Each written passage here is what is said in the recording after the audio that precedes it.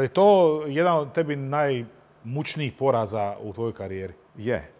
Je. Pa ja bi to stavio u rang, ja bi to stavio u rang e, finala kupa sa Lehom protiv Arke Gdinja, gdje smo bili apsolutni favoriti i ne znam, pogodili četiri prečke, mhm. imali deset mrtvih šansi, izgubili finale kupa. E, Dinamove utakmice sa Šahtjerom, koju nismo izgubili, a smo odigrali 3-3, i ta utakmica za kit to su mi onako tri naj, najbolnije utakmice koje e, nisam pobjedio.